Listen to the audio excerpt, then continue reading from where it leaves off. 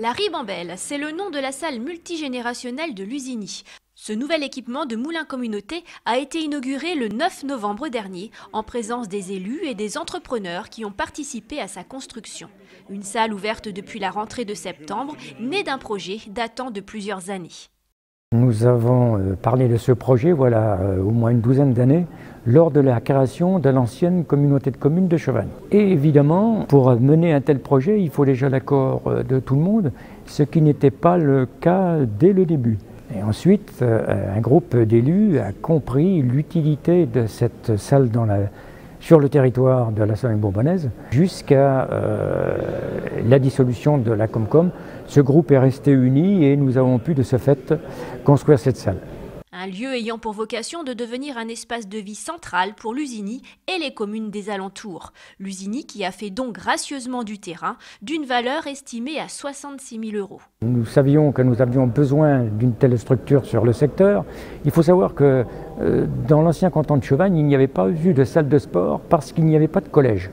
Vous savez que tous les, collèges d'alliés étaient construits sur les chefs-lieux de canton où il y avait euh, des collèges. De ce fait, Chevagne n'ayant pas de collège, on n'a jamais eu dans notre secteur de salle de sport, ce qui nous manquait énormément. Et c'est vrai que sur l'Usigny, depuis plusieurs années, on avait développé le sport avec euh, euh, la construction en particulier d'une piste d'athlétisme en 1996, avec euh, ensuite la construction d'une salle de judo d'entraînement. Et il nous manquait encore une salle qui puisse permettre aux jeunes de pratiquer pourquoi pas le basket, le handball et le tennis sous abri, puisque de toute façon on avait déjà un cours de tennis extérieur. Mais on s'aperçoit qu'aujourd'hui les demandes sont fortes pour accéder à de tels sports sur ce secteur, et nous sommes évidemment très heureux d'avoir cette structure aujourd'hui.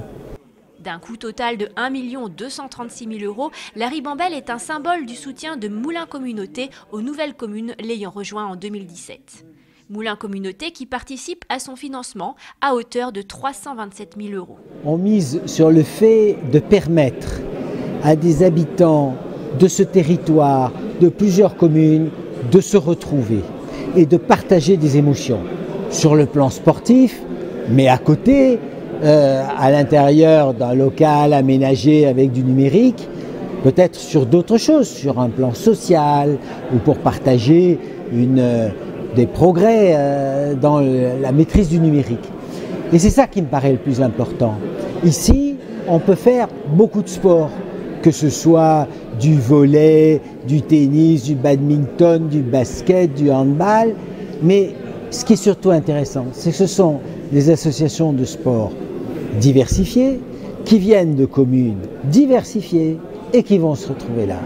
Et moi, ce qui est pour moi le plus important, la priorité, c'est de permettre à des gens qui vivent sur notre territoire, mais sur des communes différentes, de venir partager des émotions, des plaisirs, de mieux se connaître et de faire vivre ce territoire. Un projet soutenu par l'État, 397 000 euros, le conseil départemental, 191 000 euros, la caisse d'allocation familiale, 34 000 euros, et la région Auvergne-Rhône-Alpes à travers une enveloppe de 287 000 euros. Dès janvier 2016, après l'élection du président Vauquier, le Conseil régional d'Auvergne-Rhône-Alpes a fait le choix de dégager beaucoup de financement au bénéfice de l'investissement dans les territoires. Ça se traduit par trois dispositifs. Contrat Ambition Région, c'est dans ce cadre que cette salle est aidée. Les bonus ruralité, c'est des aides directes aux communes. Et puis les bourses, le bonus pour les bourses centres. Au total, peut-être un chiffre simplement pour fixer les esprits, un peu plus de 3 millions pour les communes et le territoire de Moulins Communauté euh, vont être investis, sont investis par le Conseil régional parce que nous sommes persuadés que c'est en investissant dans des équipements de cette nature-là qu'on permet aux populations de rester dans nos zones rurales et de ne pas forcément euh, chercher à, aller vivre ailleurs. On a le, souci d'offrir un, un, cadre de bien vivre pour tous ceux qui habitent dans des territoires ruraux comme les nôtres. Un bâtiment à l'architecture conçu pour recevoir l'ensemble des activités sportives et culturelles adaptées à un public d'âge et d'horizons différents, des élèves de l'école maternelle aux associations de clubs d'aînés. Le gros œuvre, c'est du béton, Hein. on a en périphérie du bâtiment des fondations en béton et des murs de soutènement en béton, comme on peut le voir en périphérie. Ces murs en béton soutiennent une charpente en partie en lamellé-collé, bois, et à l'autre extrémité métallique, sur des poteaux métalliques. Cette euh, charpente soutient des bacs aciers isolés et un bardage métallique isolé en périphérie pour faire les murs périphériques du bâtiment. L'ensemble est encastré dans le terrain naturel, ce qui lui permet de baisser, si vous voulez, la hauteur globale du bâtiment d'environ 1,60 m, ce qui permet également de tasser le bâtiment euh, d'un point de vue volumétrie générale par rapport à l'ensemble de la volumétrie du village, afin de l'intégrer au maximum dans la volumétrie du village et de ne pas en faire un espèce de petit monstre au milieu du bourg de, de, l'usine L'utilisation de la ribambelle est gratuite pour tous et d'ores et déjà utilisée régulièrement par plusieurs associations.